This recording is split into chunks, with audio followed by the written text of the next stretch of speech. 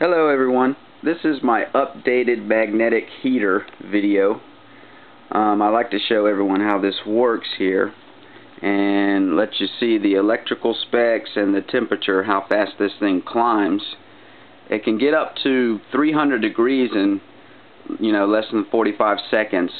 I do not have a stopwatch or anything so you'll have to count it when I start it.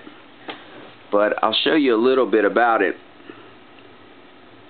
this was my original design which you know it's a quarter inch line coming in. The water comes in circles around through the water pressure and then comes out at the bottom. So the temperature I estimated at 55 degrees coming in and the output brought it up to 80 degrees and that's just constant water running through it. But let me show you the motor the motor design is a half horsepower motor which can run off of 120 volt or 208 or 240 volt. But the best savings for amperage is the 208 which draws 3.5 amps. That would be the best savings for this. But let me go ahead and start this up and I'm going to show you the temperature of how fast this thing climbs the magnets inside, I pretty much got it perfected design here.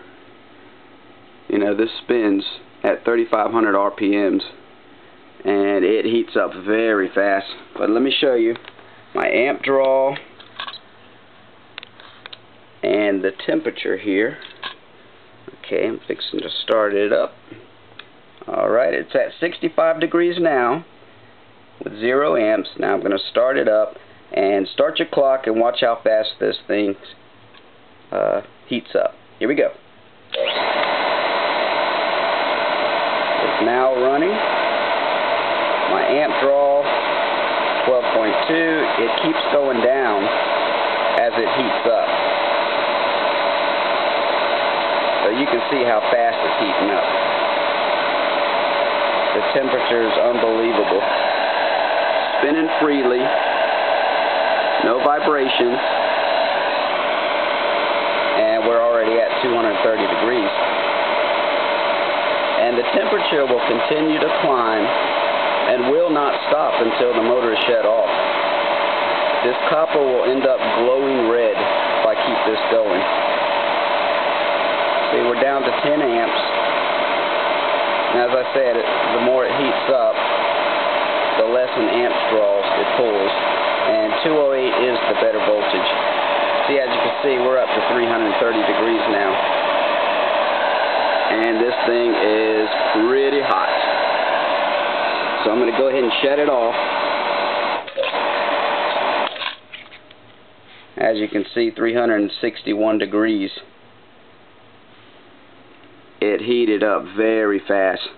Now when I have water flowing through this, it still heats up pretty good and heats the water up to 80 degrees but if it's a recirculating water the same loop you can make an awesome heater out of this like your car. And this is my other little design here which is it uses copper fins.